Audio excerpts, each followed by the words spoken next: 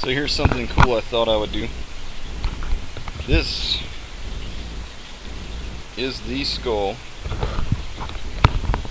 of the American flathead catfish. I did clean and assemble this skull entirely by myself.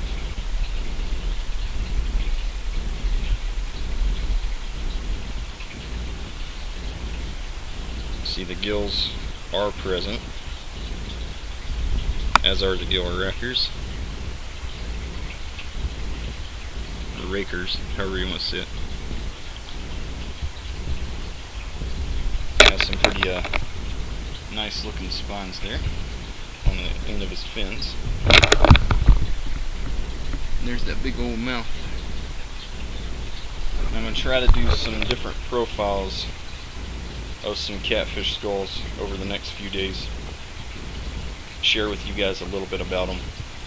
You guys feel free to comment and like and share this video all you want. Later.